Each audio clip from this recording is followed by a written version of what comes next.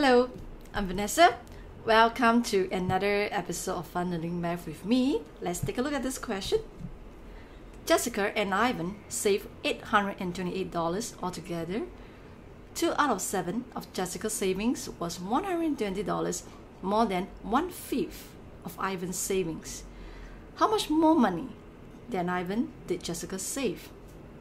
Okay, one thing to take note of, first thing first, is that these two fractions are referring to the different bases. Okay, that of Jessica's and that of Ivan's. So these two fractions cannot be added or subtracted. And then how do we proceed from here? Okay, as what I always say, um, keep things manageable, solve solve them uh, by breaking the whole questions into manageable parts.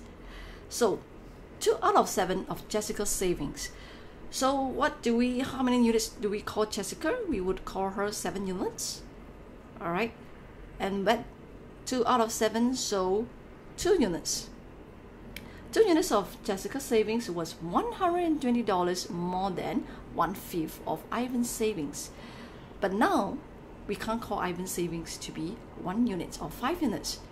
In order to differentiate it, we have to call one part or denote it with a different color block. So probably I call it green. So for every one part is 120 less than 2 units of Jessica savings. So what is the whole of Ivan's savings? You would have 5 and then less the 120 for every um, one fifth. Alright.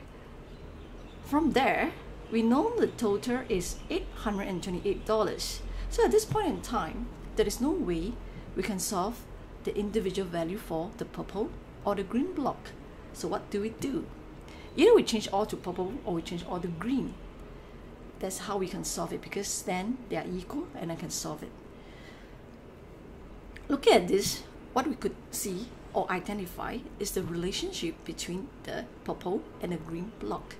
So for every two units, so for every two block, two purple blocks, it's actually equals to one green block plus $120.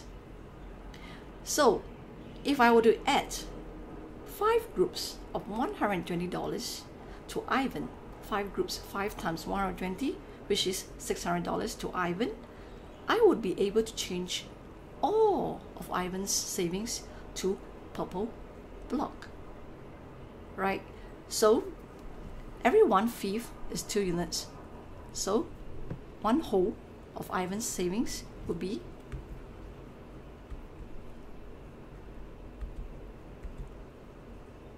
then purple blocks.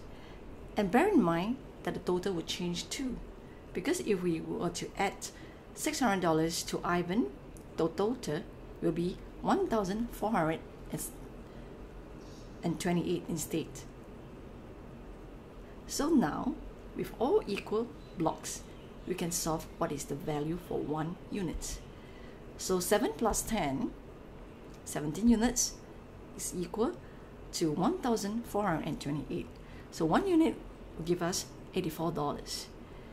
And bear in mind that Ivan was never 10 units, so revert to the actual state. So Jessica is still 7 units, so Jessica would be 7 times $84, which is $588. So since we have the total, we take the total, take away Jessica's savings, that would be 2000 or uh, 240, which is Ivan's savings. And we know the difference then, which is 588 minus 240, which is 348. And with that, please check our work by taking two out of 7 of 588 take away one fifth of Ivan's savings, you should have $120. That's it. That's the answer. Keep things simple. Once you identify the relationship between these two different color blocks, you change all. That's the only way to solve your questions, given this limited information. With it, I end my lesson today, and I hope you enjoy it. If you do, please give me a like or even to subscribe to my channel for more videos. That's it. Hope you enjoy learning math and have a nice day. Goodbye.